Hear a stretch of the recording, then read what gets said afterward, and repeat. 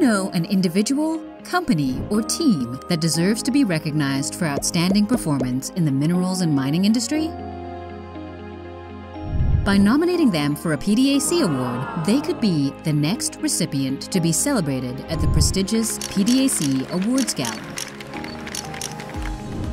Nominating is easy. All you need is a nomination letter, a minimum of three support letters, and background materials and evidence of the achievements. Award categories and the selection criteria is on the PDAC website. See if your nominee qualifies for an award. Then fill out the form, upload the attachments, and submit. The PDAC Awards Committee carefully reviews each nomination.